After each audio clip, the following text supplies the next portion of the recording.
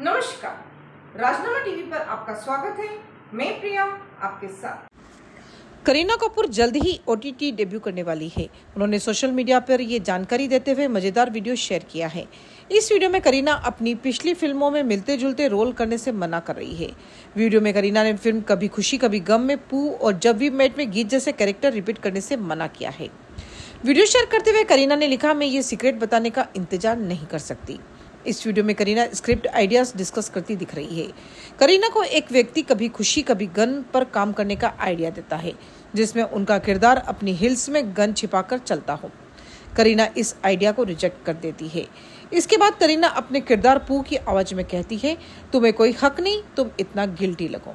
इसके बाद करीना को कलवी मेट नाम की साई फाई थ्रिलर फ़िल्म का आइडिया सुझाया जाता है, जहाँ दोनों लीड कैरेक्टर्स की मुलाकात ट्रेन की बजाय टाइम मशीन में होती है। इसके बाद करीना कहती है, क्या कुछ और नहीं है? कुछ थ्रिलर टाइप्स ये मेरी पहली ओटीटी फ़िल्म है। ये ओरिजिनल होनी चाहिए। हम ऐसे ही कुछ भी नहीं बना सकते।